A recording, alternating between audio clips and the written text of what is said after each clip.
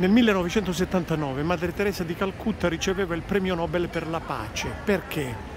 Perché la lotta contro la povertà e la miseria è una condizione per la pace. Povertà e miseria minacciano costantemente la pace nel mondo e d'altra parte se l'80% della popolazione mondiale vive di stenti e il 20% si consuma quasi tutti i beni della terra, come può esserci giustizia nel mondo?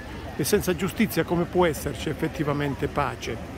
Ma la cosa più strabiliante fu la risposta di Madre Teresa di Calcutta alla domanda perché amasse così tanto i poveri. Madre Teresa rispose, io in verità non amo i poveri, amo Gesù Cristo. Che profondità teologica, oltre che mistica.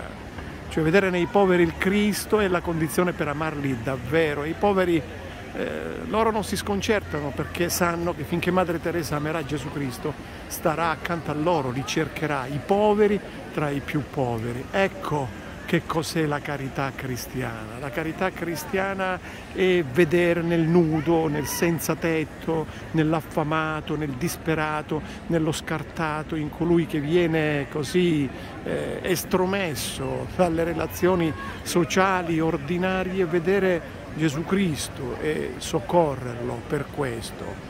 Non è dunque umanitarismo, umanitarismo sociologico, quello che Papa Francesco continuamente ci insiste a vivere, insiste che viviamo nella nostra fede cristiana, non è umanitarismo sociologico o addirittura ateologico, ma è precisamente umanesimo teologico, quella che con le parole di Madre Teresa di Calcutta adesso hai sicuramente capito.